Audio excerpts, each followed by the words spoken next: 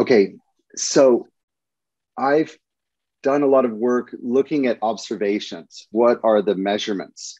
And it's like nature is revealing what's going on. We just have to listen. So, this is the story that the Arctic climate is telling us if we're listening.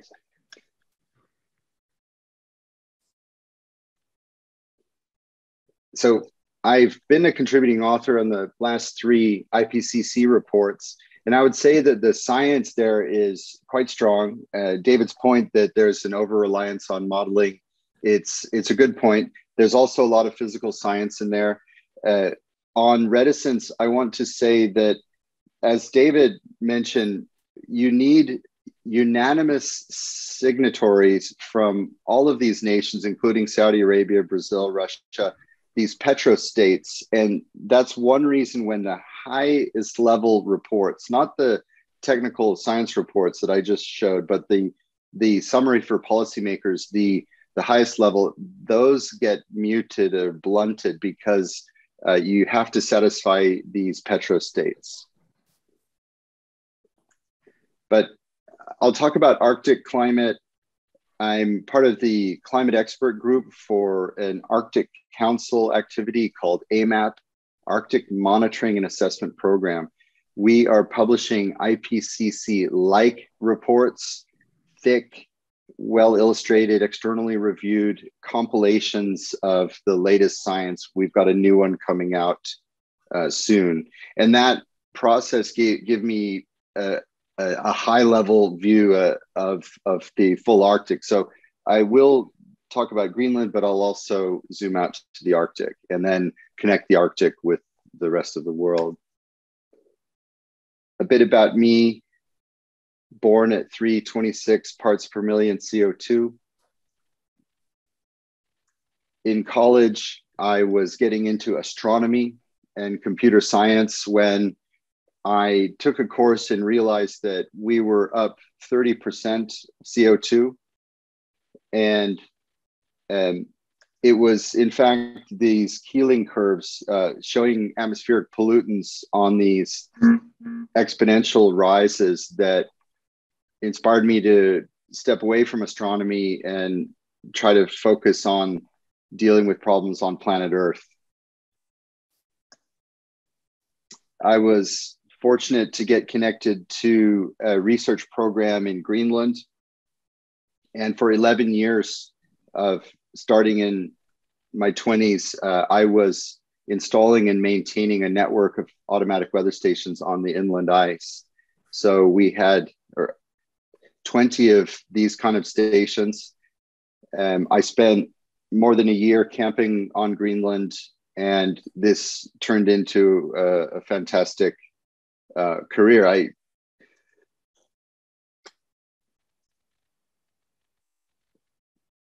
after that University of Colorado, I went to Ohio State, and I in addition to meteorology coursework for nine years, I was teaching intro to environmental issues and and uh, like world geography, and that gave me a really broad perspective on the global long dirty laundry list of environmental issues.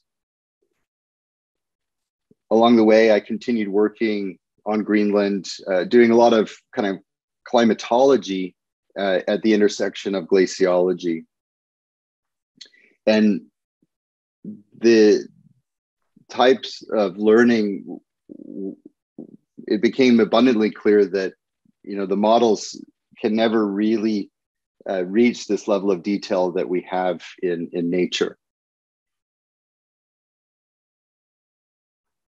racked up a lot of publications. This is what people do in academic careers. They publish uh, technical articles. It's really tedious to write these things, and they compose a body of work that um, you know allows me to talk about this stuff. Um, basically, burned out and uh, took a, a, job in in Denmark. Uh, reboot on my life. Uh, got out of the academic thing because it's it's quite a tough treadmill and uh, but continued to do this uh, climate recording work. The red circles are the Danish network, and we're actually now running both networks. So we we're responsible for 40 of these stations. This ends up spending a lot of time on the ice. And what you see there is you're like yeah this this is not in the models. And i want to talk about that. Um, uh, yeah. So i think a useful narrative is to follow the water it's like if you want to understand politics in dc washington dc you follow the money well if you want to understand the ice, uh, it's useful to follow the water. And let me take you to West Greenland. There's a dark band that's low on the ice sheet. Um, it is where you get a lot of lakes forming. The lakes, like this one, it's 30 million cubic meters. They actually drain rapidly. Uh, they and they are forming higher in elevation. Uh, they are draining more rapidly and this is one example of factors that uh, are not yet in the models. Yet these pools of water absorb more sunlight. When they drain, they lead to uh, a tectonic upheaval that, that kind of rips up the ice, and the, the water flowing at the bed accelerates 3x. Uh, none of this is in the models. This is just one factor. The water drains in. It's several degrees warmer than the ice internally. And so the doubling of meltwater that's happened in the last 50 years, it's heating the ice internally. This thermal collapse is not in the models used to predict future sea level rise. The water then reaches the bed and it lubricates flow. This effect is not in the, the climate models. the water rushes out the front in, in, places where the water terminates in the sea. It, it entrains uh, mud from the, the bottom of the ice uh, that you can see in this photo. The ice, the water is uh, turbulent. It forces a turbulent heat exchange uh, that you can see here. This is a convective heat transfer, much more efficient than uh, just thermal diffusion. Um, this cartoon illustrates how it's typical for there to be a warm layer below 300 meters. Um, that those red arrows illustrate this warm Atlantic layer. Uh, the water, the fresh water rushing up the front of the ice, it entrains this this warm water and forces uh, forced convection melting uh, right at the grounding line. That's that's where the ice uh, loses contact with with the ground. And erosion of ice right there is uh, the best way to get that ice to accelerate, and and that is increasing with both ocean warming and uh, increasing uh, forced convection. Neither of those processes are in the models used to project uh, sea rise in the future. Hydrofracture we see really big ice shelf disintegration during record warm summers. The rifts are being flooded with water. This is this hydrofracture effect is not in the, the models.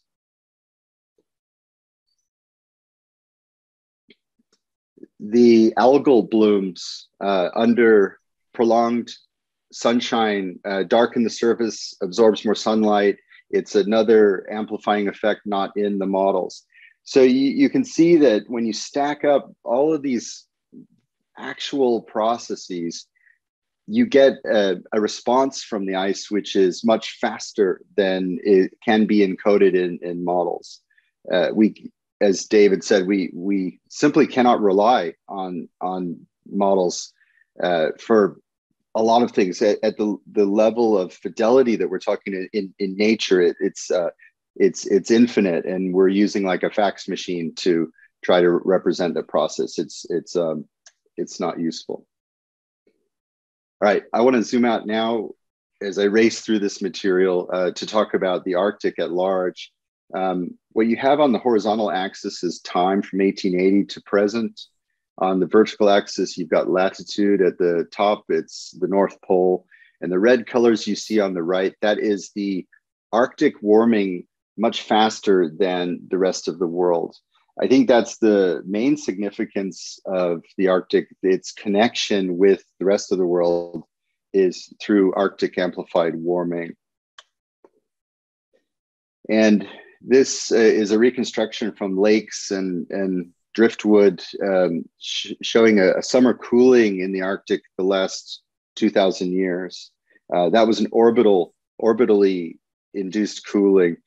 Um, then there's an abrupt warming. This has this hockey stick shape that the abrupt warming is from industrialization, the addition of carbon pollution to the atmosphere. Um, and that takes us up to the present. The instrumental record is the this red curve. Now, what I'm going to show you next is I've pasted on, I had to do this. I, I pasted on the projections of Arctic summer temperatures into the future. And this is what we have heading this is where we're heading. Same curve. Uh, I had to put on the the axis. Um, this this should be you know maybe front cover of the IPCC report. How um, even in an optimistic scenario, that's there. There are two curves going off to the right. The Paris scenario, um, we're still looking at a huge warming in the Arctic. The business as usual is the six degrees of Arctic summer warming. Um, there is a difference between those two. Basically, by limiting carbon emissions and getting into carbon drawdown, uh, we can put on the brakes and we can slow down this disaster. But I, am sorry, it's it's we're not avoiding this. it, it is for sure coming um, for the foreseeable future. There would we would have to have an external uh, influence like a comet. That was the only thing that's that's in the cards, uh, as unlikely as it is, to alter this this uh, warming trajectory. Um, for AMAP, I made this uh, plot about um, sea level contributions from Arctic and Greenland. Okay, Greenland is the largest single contributor to sea rise in the world. Um, you, you add on Alaska, Arctic Canada, etc. You get these kinds of curves the the land ice, the the glaciers, they are having a really delayed response to Arctic warming, and I do not consider them the primary concern. Um, nevertheless, these the, the the gray lines illustrate how in every successive decade the the rate of sea rise is increasing. Uh, in other words, it's accelerating. That much we know. We really can't predict this other than using paleo data, like David was saying.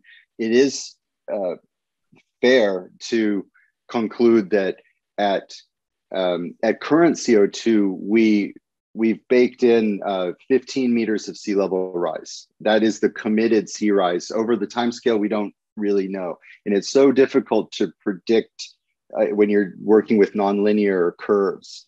Tiny changes in the initial conditions uh, greatly affect the outcome and we we lack the models to project this into the future. We do have paleo data and those do show we have had dramatic sea rise uh, in in the past. Um, the you know civilization has developed under extremely stable climate that's been called the holocene um, that was preceded by the pleistocene ice age. You can see the sea rise 120 meters of sea rise uh, after the disintegration of the Laurentide ice sheet and the Fennoscandian ice sheet, they're gone. Now we have a relic of ice sheet on Greenland and uh, the polar ice sheet in the south. Uh, anyway, the the Holocene climate very steady, sea level very steady. This when when the the the when the position of the the coastline is predictable, if it then you can build coastal infrastructure because the you can build that port city because the the the, the sea isn't changing uh, rapidly that's one of the factors that allowed civilization to develop like um, predictable rainfall patterns Uh, the farmers could say, "Yeah, well, you know, it's this is the rainy season, and it's like that more or less every year." That was uh, the Holocene. Um, in terms of sea rise, the Big Bend there for scale, um, this is our what we are faced with for the future. The time scale, it, it's it's hard to establish. Anyway, there, as you can see, there is a difference. If if we could lock in constant 1990 emissions, which would be pretty a pretty big achievement, um, we we're still looking at uh, tens of meters of sea rise committed um, business as usual, you know, 50 meters. I mean, tr- imagine the impact on hundreds of coastal cities. It's it's a preposterous uh, concept. The the um, my final point it's about um, how Arctic warming leads to uh, persistent weather extremes in other words droughts or flooding conditions when when the weather gets stuck in one pattern like it's raining. A little bit of rain's great but if too much of a good thing you get flooding. Um, that's what this is about. And arctic warming is central to this this issue. Um, the jet stream the river of air that separates the cold air in the arctic to the north and the warm air to the south this depends on the Arctic being cold, but Arctic is warming 3x the rate of the world. What that is, that is doing is slowing down the jet stream, making it wave more, and leading to more persistent weather extremes. Um, the I'm just going to that that's what this illustrates. It's a more uh, north south wave pattern and it's moving more slowly toward the east. That is the emerging picture. That's what's threatening um, food security. Um, there's lots of headlines like this 2015, 2018. Uh, European heat wave. This uh, the the northwestern U.S. Um, Pacific Northwest. It was the same thing. This omega pattern. Um, on the right, there's if you can see the little omega symbol, it's because of the shape of this wave. Um, a persistent high pressure over Europe there means lots of sunshine. And if that keeps up, the crops start to fail. You lose water security. Um, this pattern um, is how we're starting to get 40 degrees temperatures on continental Europe. Um, think back to the Russian heat wave of 2010. That was one of these events. Uh, Russia halted grain exports. It sent global food price commodity spike spiking. It led to food riots. This is um, what to expect uh, because of this uh, wave wavy problem with with the jet stream, and and it's been very clearly documented in this and other articles where this is these are the wave numbers and this table has like the the august 2003 heat wave in europe more than 40,000 people died because they were unprepared for um, the persistent um, heat.